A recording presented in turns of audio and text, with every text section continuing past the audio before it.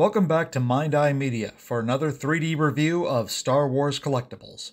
Today we'll take a look at three Star Wars die-cast vehicle toys from the Disney Store. The TIE Fighter, the First Order TIE Fighter, and the Star Destroyer. I picked up these miniatures at a toy convention, and I didn't even know this series of die-cast Star Wars miniatures existed until I saw them at the con. Let's start this review with the original trilogy TIE Fighter. I've collected many TIE fighters for decades, and based on my previous experience, the Disney Store TIE Fighter knocks it out of the park. This miniature is largely made of die-cast metal, so it feels more solid than any other TIE fighter I've had. It is brimming with screen-accurate details, from the textured side panels to the semi-transparent cockpit window.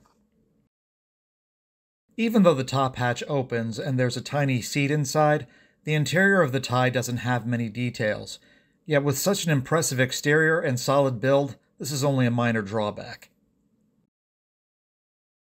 The box the TIE Fighter came in is predominantly red, with Kylo Ren on the front. This box has a window on the side and a description of the TIE Fighter on the back. As you can see, the back does not list other vehicles that are in this series. The First Order TIE Fighter appears to use most of the same mold as the original Trilogy TIE Fighter, but with a first order paint scheme, a red tinted cockpit window, exterior antenna, modified laser cannons, and slightly bulkier supports for the side panels. It also has an opening cockpit, but the interior is just as basic as the original Trilogy TIE Fighter. This First Order TIE is not the two seater that was seen in The Force Awakens because the back does not feature the rear gunner opening. I suppose this is the single seater First Order tie that was in the animated Star Wars Resistance series. The box the First Order tie came in is mostly the same as the original trilogy TIE Fighter, but with a different description for this vehicle on the back. As you can see here, the TIE Fighter and the First Order TIE Fighter both have the same amounts of detail and die-cast metal, so they make for great complementary pieces for your collection. The Disney Store's Star Destroyer is a fantastic representation of this vehicle. For as much as the Star Destroyer has appeared in the Star Wars saga, it can be a challenge to find an affordable replica that is close to screen accurate and is not a model kit.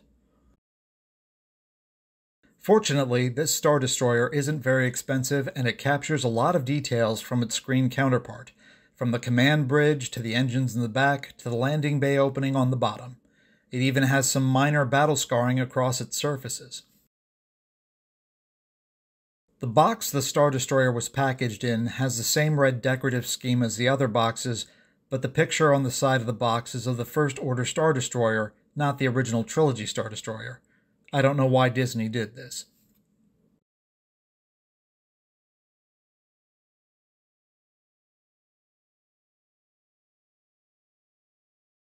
If you like collecting die-cast replicas from the Star Wars universe, these three Disney Store items should be part of your inventory.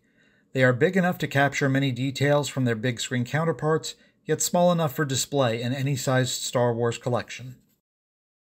Thanks for watching. Please click like and subscribe to see more 3D videos like this, and please feel free to leave comments below.